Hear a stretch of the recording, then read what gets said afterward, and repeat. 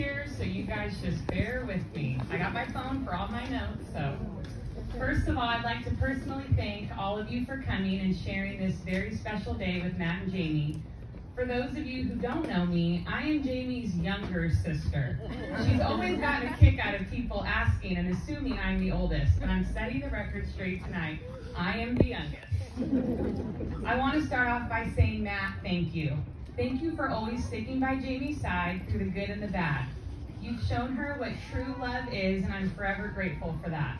You are hardworking, fun, and an easy to love guy. I'm very lucky to call you my brother in law, finally.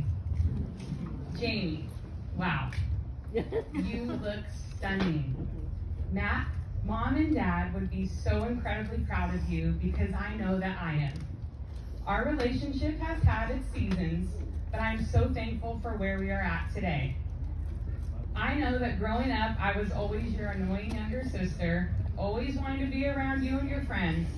Well, guess what? Some things never change because I had a blast with you and your friends on your bachelorette party.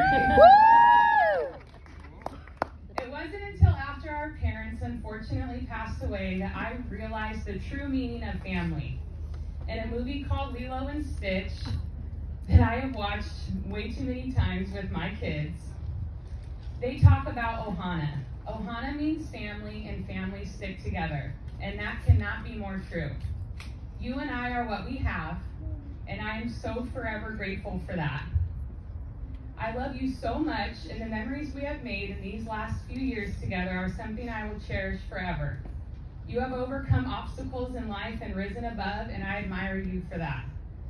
13 years ago, Dad grabbed the microphone at our wedding and I think both of our jaws dropped, thinking about what inappropriate joke was about to come out of his mouth.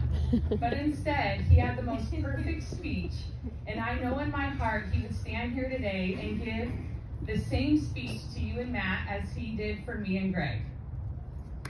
All I can tell you is, I really hope you have just enough clouds in your life to make a really, really nice sunset. And that's. I know, I'm sorry, I had to. I wish so badly that mom and dad were here tonight to see you on this special day. But I'm here for you, and I feel so honored to be by your side and your maid of honor. I know I will never take the place of dad, but I want you to know I would never want you to miss this special dance. I would love no more to have your arm in this dance with you to honor dad. But before we do, we need some special dancing shoes.